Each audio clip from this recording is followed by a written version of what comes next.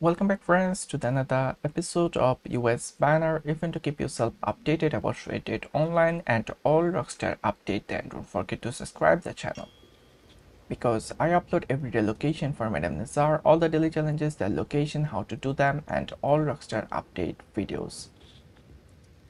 In this episode, I'm going to show you guys where is Madam Nazar for today 29th November. So friends, here is the location for Madam Nazar today beside the Barn City down to the Valentine. You can first go to the Valentine, go in this location and you can find Madam Nazar over here in this location. Lots of people comment that you cannot see her in the map. You actually cannot see her in the map until you go very close to her.